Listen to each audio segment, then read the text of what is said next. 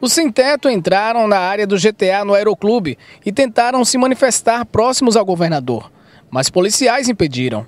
A gente tem que trabalhar de forma preventiva, a gente não pode ocorrer, esperar que o fato ocorra para que se tenha a resposta. Quando se coloca em risco eles e, a, e o transporte aéreo, não se pode. O limite para fora, a área interna do aeroclube não é permitida. O grupo pediu casas à distância. Nós estamos tentando marcar uma audiência com o governo do estado e infelizmente ele não quer nos atender. Entendendo? A secretaria atendeu?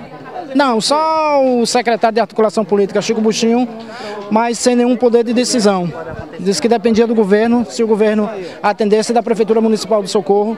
E ninguém quer, quer, quer falar com o pessoal do movimento, que são, são 1.600 famílias que estão tá sem teto e que reivindica a moradia popular. Não, é verdade. Eu negociei em nome do governador, tive duas reuniões antes da, da desocupação. Ontem passei o dia todo lá.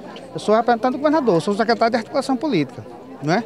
Se eles querem é, negociar diretamente com o governador, aí é outra discussão. Mas que o governo negociou, dialogou, dialogou.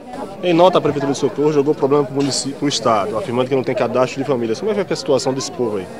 Mas não existe. A, a Prefeitura de Socorro precisa conhecer, é, saber é, que o território, quem manda no território é o município.